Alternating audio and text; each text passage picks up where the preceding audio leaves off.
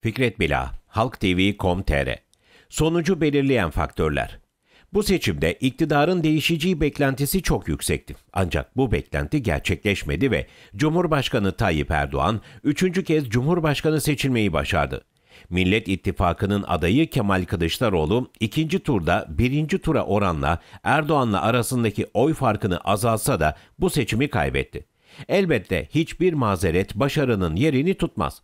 Ancak sonucu belirleyen faktörleri yok saymak da olmaz. Onları da gerçekçi bir şekilde inceleyip analiz ederek gerçeği aramak ve ortaya çıkarmak gerekir.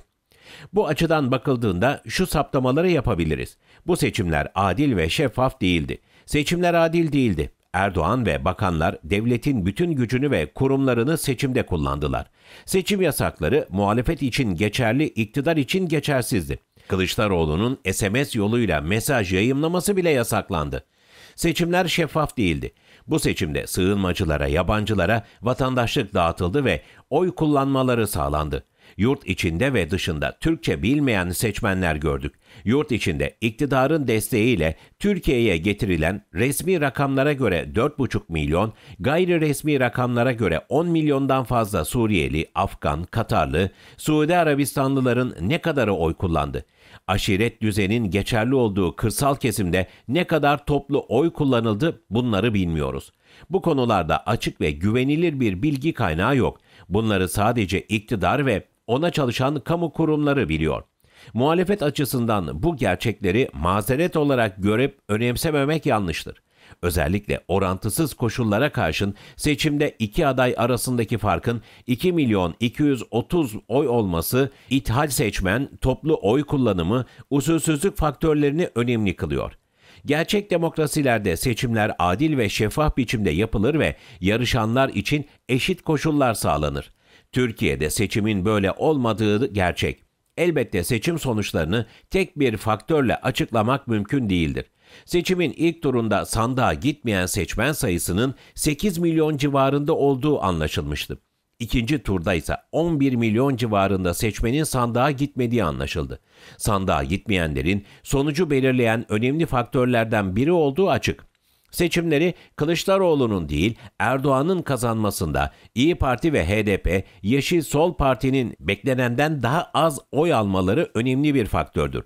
İyi Parti'nin oy oranının %15 bandına yükseldiği yönündeki anketler değişiklik beklentisini yükseltmişti. Ancak İyi Parti'nin 2018 seçimlerinde aldığı oyu artıramadığı gerçeği ortaya çıktı. En önemli gerçeklerden biri de CHP'nin oy oranının yine 25 civarında kalmasıdır. Aynı şekilde HDP, Yeşil Sol Parti'nin oylarında %3 oranında bir düşüş gerçekleştiği, %8 civarına gerilediği anlaşıldı.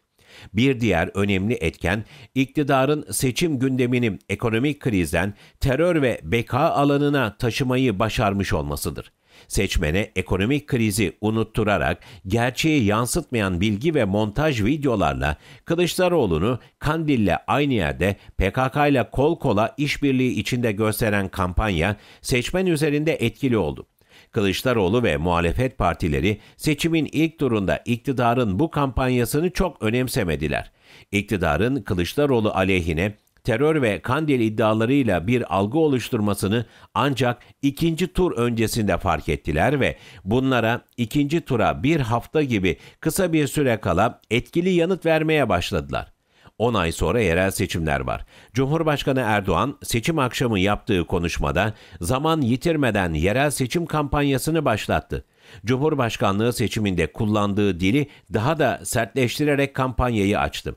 CHP ve Millet İttifakı'nın diğer partilerine düşen görevse seçim yenilgisi şokunu bir an önce üzerlerinden atıp zaman yitirmeden yerel seçimlere hazırlanmaktır. Abone olmayı ve bildirimleri açmayı unutmayın.